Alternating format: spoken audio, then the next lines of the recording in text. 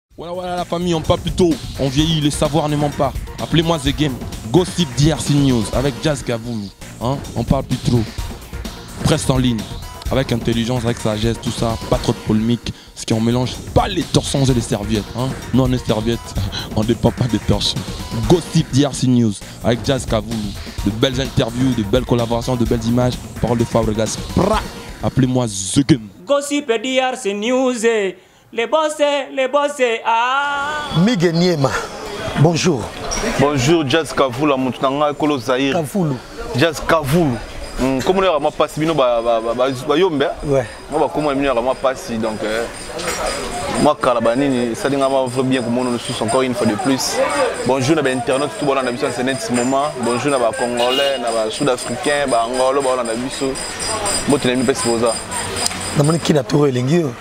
kina turo toye mpena kosempose eh, kosempose c'est-à-dire tovanda biso nde tonda kovanda te nde oyebede biso kala mais grâce ya elodi efefe na hambourg la patronne mwasi ya mbongo exemplaire eh, femme exemple ya bacongolaise abisinga te yo fozwa résidence na macampagne eh, afuteli biso inane na macampagne donc to s'imposer angola eza kaka vite fait musicien monene oyo akibeta na angola to musicien tosololaka bien efremiki nazoke na angola tosali nde nini ale nde tokie tosali cop ah donc so na comprendre bien hmm. siège ezongi kinshasa siège ezongi kinshasa et puis kuna ekomi kaka boulot lokola nzambe asala grâce toza legal kote badoki na bango mpe tokenda yango anytime tokende na ntongo na butu tokende na biso mais tosegino na kinshasa mpona babulo mais déjà na bino soba nde baolanda émission ya biso ya lelo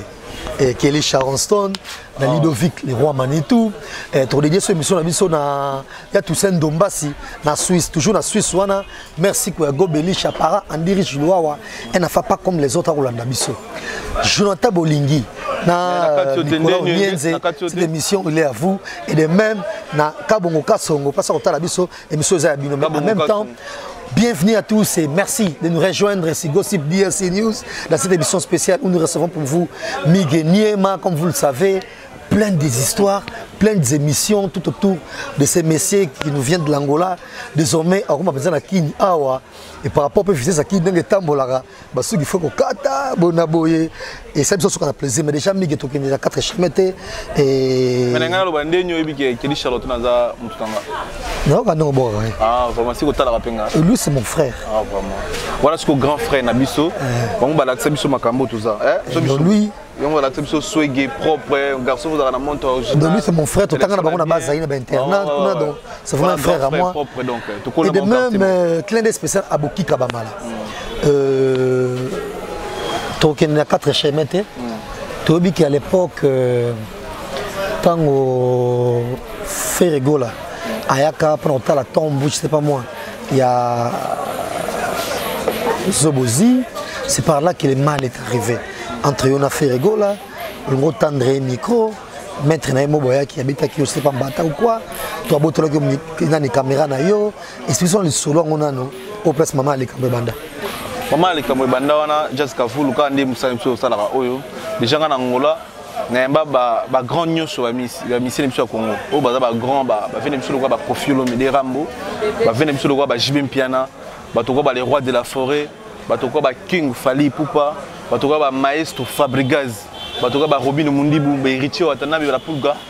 bakabo se bulembi bape na ngai didier lacoste basafane de picho donc toyamba bato to bazali bagrand ya musique congolaise ntango bayaka kosala musique na angola badof to mingizi donc arrive na tour na ye falaki toyamba ye comme il faut nde kende baproblème première fois révisé deuxième fois révisé troisième fois edo mozamba moto abengaka nga asalinga texo yo fo ya tourne na ye émission allez les jours na ye na tourne na ye émission nde ezalaka les jours bapreparaki nga fo abetanga donc c'est ça bref bon likambo nango osala bon likambo jusque là ayebanaka te koto mosusu ebimaka koto mosusu mpo nga beaucoup plus bainformation na ye na makambo yango nayoka yango mpa bato na ye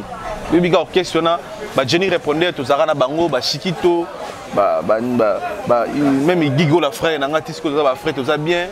Ba ba ba ba ba tout moi trop les orchestres on a génération là on dirait. Nous avons bango bien même moral. Oh, et ça là bon passe quoi. Oh, mais ndé nini noko wana ah, bakisaka mpe moyen plus na orchestre ayambaka biso soki aye kin tozalaka na ye mais ndenge nini prese akoma ti na niveau babeta ye devant ye esalaka bango mpe bien te allez naboni mpo koseransene ah, ndenge nini basalaki bon pwane oyo oh, iparait ke yo ntango banda oyamba zobo ozi banda ofinga mpe grand pote king fali mpo paroi ya miziki ya congo mais kote banda ofinga fali banda okobima te na tv mais message ezalaki fo bafinga kofi bafinga mpe na zobozi bafinga mpe na na fali je m'excuse mais nde nini banda okata koto ya fali obanda otika kaka verambo koto mosusu pourkui ayambaki mwasi na ye ex mwasi na ye mama ya davina koto mosusu ye pourkui osalaki émission moko osalaki na ye gigola eparti ya lwanda parti ya angola wana euh, euh, nanu baagresse yo te wana nanu te ah, makambo wana nyonso makambo eyebani nanu te ke makambo deja ebimi to mm. davina makambo afa ebima Hmm, ah, ezalaki préparation na ya angola dernière émission asala papi mbuma tocomprendre en gros c'était pas mambo nani ya mama davina non bato jusque là yebana ti ye mo moto ayebi ya ye mo moto ayebi bajournaliste oyo bayambaka ya jour to balobi yana kuna fo wali tuna ye moto ayebi pourkui asalaka bongo epai ebimaka mpo na makambo azobo ozina na ndokata bakote fali ardo finga fali kote mosusu ebimaka lokola na yambaka mama davina kote mosusu ebimaka lokola na yambaka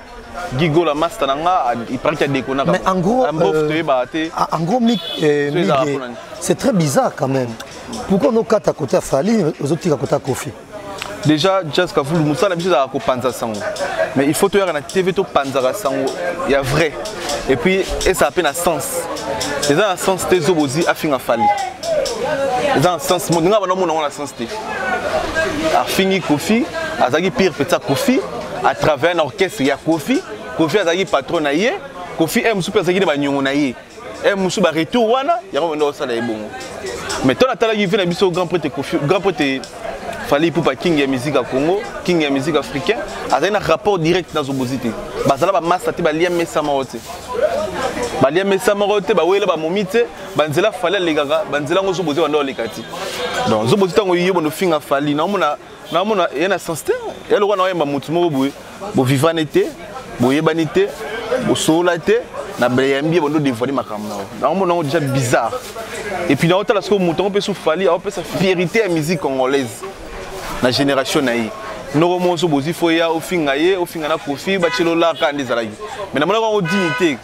kosalir image ya fali ipupa na internet osili ota direction eh, lien eza te entre zoboti na fali nete bato ba internet bakocomprane nga hmm. lelo tokoyamba atele plus tard lobi na kuna aloba makambo ya fali eza na mwa nzela ti atela beta pa fali okompane atela azalaki misi ya fali oza kopane mais kozwa motu mwa oyo fali ye mosusu balia mesa moko te batambola mpe voiture moko te oyo akumba moninga to moninga akumba ye namona yango biza telema ezalaki greco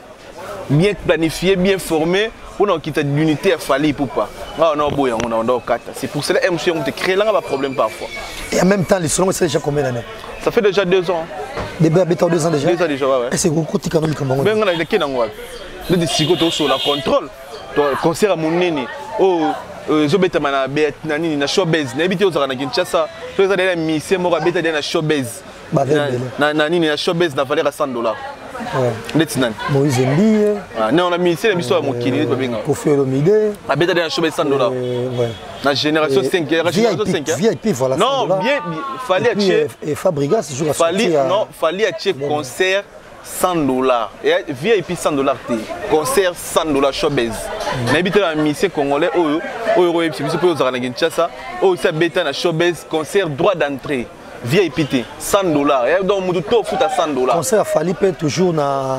rotana ezali mpe 100 dollars mais oui donc c'est ça oyo oh, beaucoup plus oyo na ye fait compris balocal kaka na kati merci oyo importanga ye naloba yango naye kutolobela makambo wana répondre aux questions mpoza confrère nango otunga question peut-être mpona bainternet va comprendre mais non nakoya kopase ntan na ngai te nalobela makambo boye wana c'est déjà deux ans passé tolobela concert bainternet oyo bawana na biso senete oyo bazwa chance ya kotala biso concert eza 100 dollars na showbase du 30 oyo mpo na présentation ya album ya ndeko na biso ya congolais lokola ngai na yo ya fali mpo baroi ya musique africaine banigérien bakoya baangolais bakoya bongo biso bacongolais tozala te poani donc c'est ça bref et en même temps euh, on a vie mm. une émission osalaki na euh, noko je sais pas moi ya davina mm. maître joe maître joe mais ezaka ezaka ezaka eh, fere te moto abota mwana pembeni oyo tata oyo ntango mosusu akipaki te a z yata biso bamise mpe mosusu mais c'est sûr ozwaki audace wana na courage parce te fere egola parce boyokanaka te mais kozala vraiment motema malamu mpenza une fois ntango mosusu na paris parce mona mpe bavideo mpe circulaki mpe ya mwana kofi neti kofi mpe abandona ye toyosala mpe émission se yango mosala na biso yango naobandela une fois de plus mosala na biso eza kopanza sango jazz kavulu ngai na koya mona émission na ngai te mpo ya kofingaka misie babétise nde tomona baconseil na baconfrère mosusu bayambanaka bafingaka bamisie babétise mosala na biso te kosalaka boye wana nayebi naotalisa yo mosala na biso eza kopanza sango kopanza sango ezala nde mwa vrai na mwa histoire moko ezala na mwa nzela nga deja koyamba eh, mwana ya kofi to koyamba meme fali pupa king soki lelo oyo oh, anéglige mwana na ye babengi nga nasala émission na osala eza mpo na panza sango soki babengi ye ndeti plusieurs fois ye moko babengi artiste plusieurs fois awa kozwa soin na ye te babengi tv mpo ti bakóma na niveau ya babenga tv seke famille wana ebengaki eh, eh, le monsieur plusieurs fois a répondre bango te po bakoma ntina niveau ya tv na nimi te po mc kiki pa kobota wana bana biso mpe toza na bana mais tosepara na madame mo totika bolingo etikala ya mwana eh, mosu mpe nana mbongo azwa mwana eti mwana ngaka na paris nana ntango kozwa charge ne de a à z te mais na moke nazwaka nazwaka mwa soin na ye mais lelo soki mama na bi aleka na tv apatika paris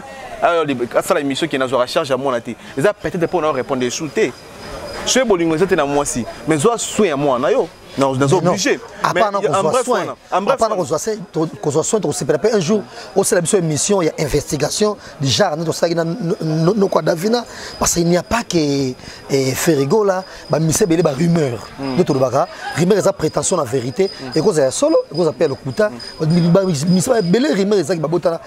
na ba na ba danseuse na bango ata ba kipaka bana mais toi ba quand même que botana ba danseuse il y a Weranson il se murmure botana danseuse na ye il y a JB Mpiana il se murmure botana danseuse na ye ba baza belé belé belé belé belé baza wana botana ba danseuse donc trop sepela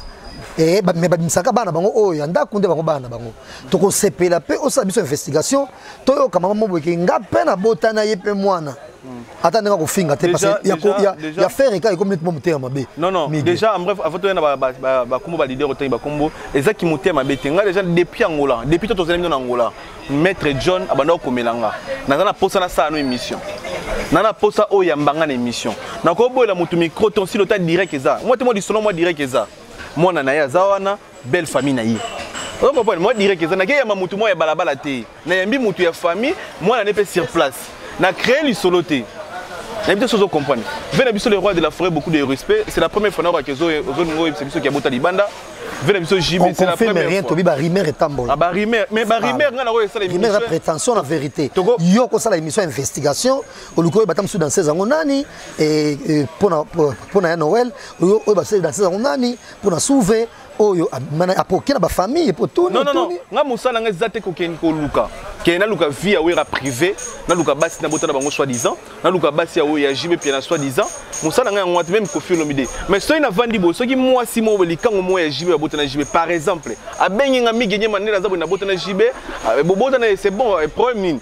oh azo ko kozwa suki ya mwana te non okesa mosala ngai eza teke ifo na kisasa oh, baactualité eza ebele fo nalobela ve na biso rambo le 25 bapesa bato bakar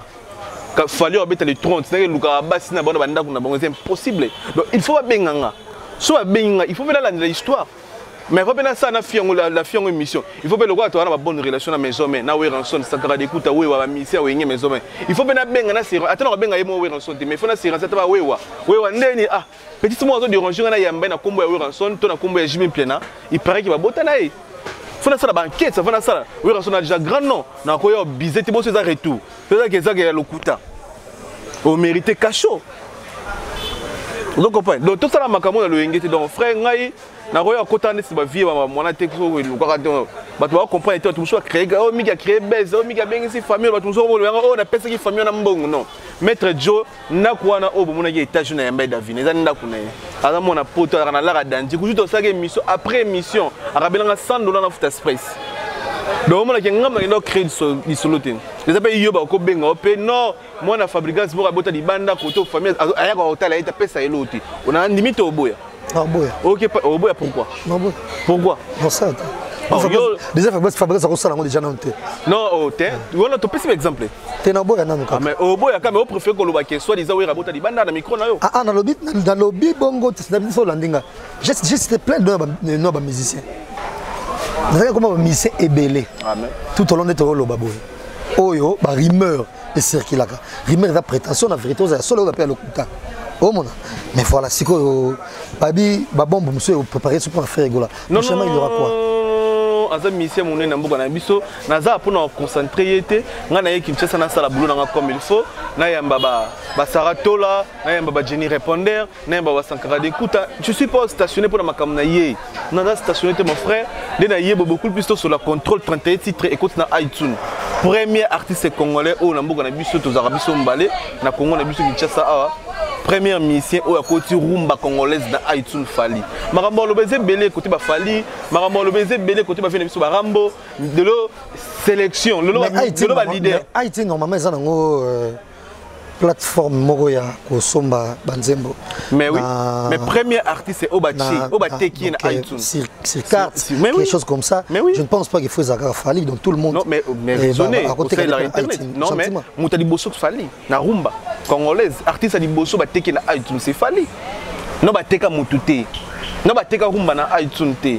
oui première chanson ekoti na iTunes ya rumba eza kana secret makambo olobi eza ebele makambo ya okaba bamisi bakaba balide bakaba asu te mais lelo ve na biso rambo afongoli liboko ekomi pete apesi baya ya bajipe ebi bavolant normal baya eh, bavolant mpena ya normal makambo alobi ezebele naza stationne te nalobaka makambo na ye naza mpe naza mpe porte parole na ye te ozo comprendre ngai nayaka awa mpo na oclairci ngai bit na ngai bato bana okomprendre yango te me bato bakomi okomprendre yango lelo na ozwa apele ya bato ya baétats-unis canada londres bit na ngai ezalaki moto okofinga fali te na tv osili ota fali aobose fort aolala te mpo na musique congolaise ekoma lelo ekomi lelo kitoko banani sikoyo bamiseni bakofinga na bango bango biso na bino toyebi ke misie mobe abetaka guidare abetaka guidare alekaka na tv afingi fali apesa ni programme orchestre imagine bacongolais baartiste congolais baya mitema mbi na niveau moko ya babongo ndeti yo jazz wana orchestre na yo guidariste no moko boye eh, guidariste na yo ayaka na tv afingi artiste mosusu abwaki bato apesi ni programme ya répétition apesi ni programme ya conseil donc ayaki na sifa finga fali abwaka bato franchement c'est pas normal mais déjà bamisani nango oyo bakoki nango kofinga bango sikoyo non bamiso bakofingana bakofinga bango te oyo bakofingana oyo baosala musique ya distraction mon frère nde tooswa bainternet baosala biso ya de misie baosala musique ya bamomi azala bamomi ebele ya baorchestre mpe yo mpo eyebi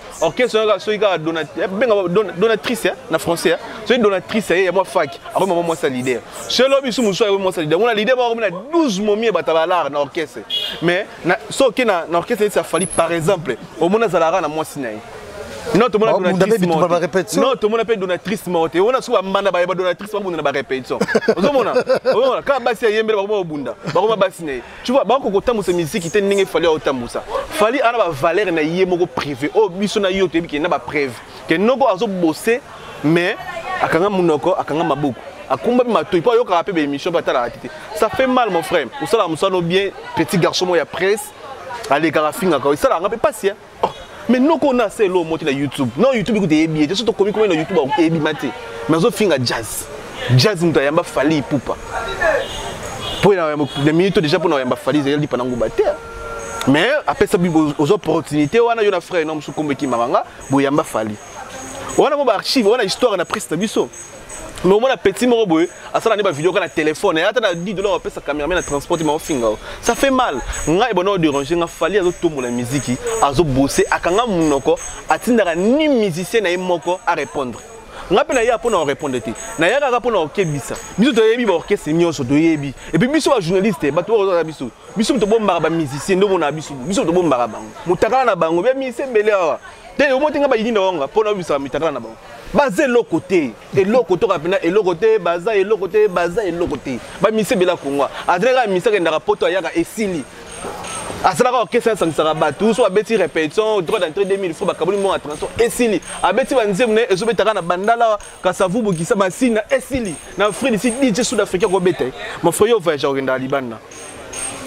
angola oyo toya bien sûr dernièrement nayebi te soki okute baboite ya angola mais namonaki osafrote mingi na baboite na biso ya communauté oyoki babete bango nyonso mais soki ozwa echance okende baboite yango ebangole okopa bino ovandi ti tosisa soirée babeta falata cette fois so moto asamaka mwa babongo aza mpe mwana kisasa congolais neti biso mwana kini bino bolekana te bofingaka ye bofingaka ye ah, biso yebana kini totala ti Mais nde nini noko alobaka te arepondaka bango te mais bino boyaka panda 12 ans kofinga ye namoni deba na ngai ekomi na suka mpo namoni euh, balekaka su na tv te komanke fali mpo nalobaki moto akomanke fali mpesi masasa eh, bapoile na ngai ekotelema suke moto ekotelema bamanke na bango vera bo par exemple rambo pa motu bakomanke te mhm. rambo moto akomanke te ngai na génération kofiolomide te ngai na génération fali pupa ferregola héritier watanabe Fabregas Robino Mundibu okompane eh, bamomi na mpe na zwaka basepela banzembo bafali bani basepela na banzembo baverambo ti verambo aza histoire mosusu vepesasi aza dia trop so fali faut toprotéger makasi mpo aza nano na age et puis azo eh, promettre en gros très prochainement soki tomoni moto moko akofinga héritier okosilika mpe héritier mhm. bon héritier déjà fo oyeba héritier na bateau déjà atindaka bango barepliquer nayebi te so ocomprendre héritier na bateau so ofingi ye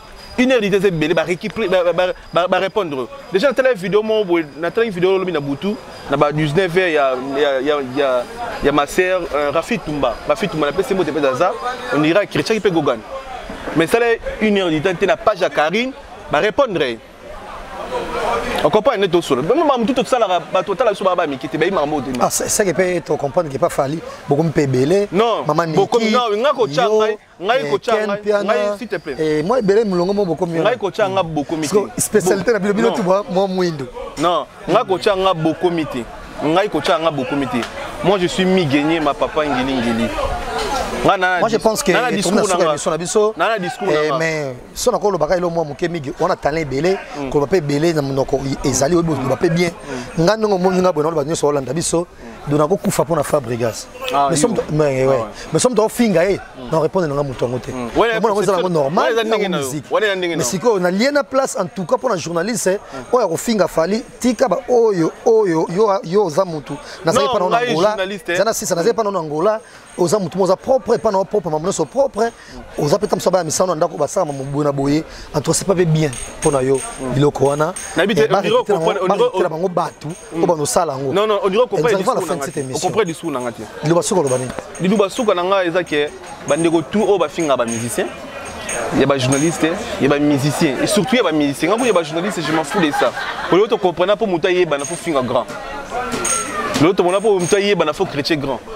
Tu comprends qu'il y a des clics ba journalistes ba sala bona ofinga mutu moko boye. Mutu pa ki parabino te. Donc il y a des musiciens oh musiciens ya yebi. Ba tinda ka finga fali. Soka yebi, so ba tindie les sous muta guidara. So ba retindie nga na réel sous. Sans ko banga sans complexe. Yo ko imaginer mutu ko la soit disant grand artiste na biso ya bakala selo scram auto osala émission 3 jours passé asala émission ebandeli ti suka kombo afali na wera na manque de respect mais apesi programme ya mboka obeta te apesi programme ya jour singele ebima te merci to to sola ka to sola apesi euh, programme ya singele ebima te émission mm. parce qu'il faut nga pe nga pe faina le kana na Congo promo mm. mais c'était un plaisir na koyamba lelo mm. grand merci na 600 ça sera tola euh, on va se mettre debout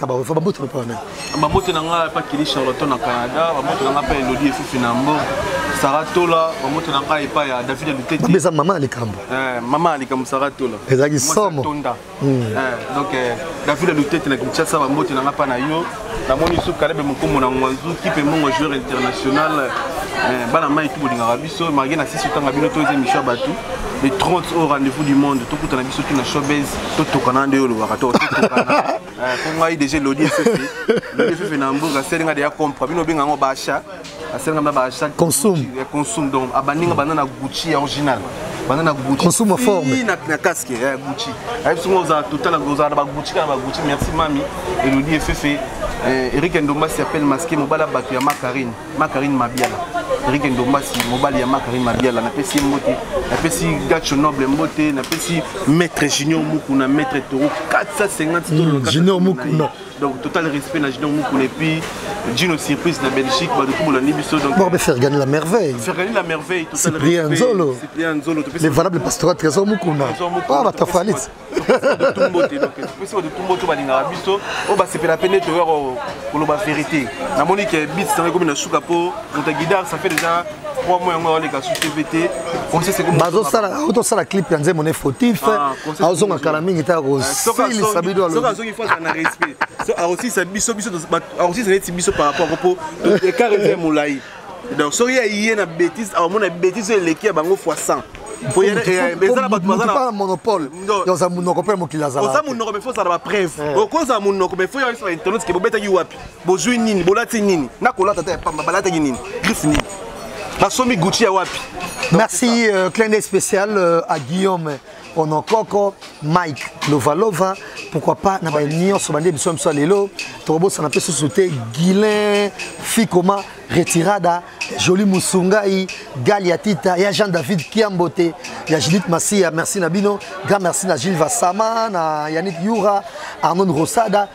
Serge Tata Kibokolo eh, to lelo mabe na kini mige nyema comme El Biso et ça biso suka na plaisir parce que internet on comme kaka bat bas yamba ba douter bas nga bango na bango finga ka bat mais yo ça même ça na kitoko je suis très fier de toi donc eh, eh kino on peut moi on est moi ko là là